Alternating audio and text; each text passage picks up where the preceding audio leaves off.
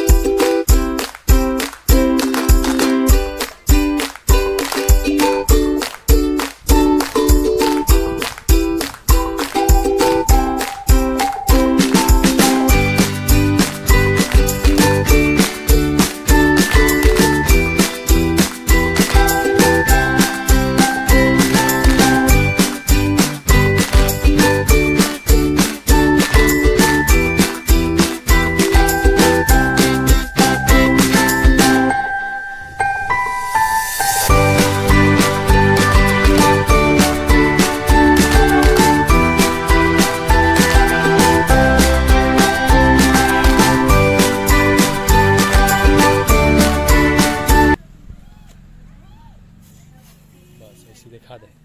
हमें ना बताइए। कितना देर? घुमा के लेना लाइट। कै मिनट के हो गए? कैसे के पंद्रह। छोड़ दे।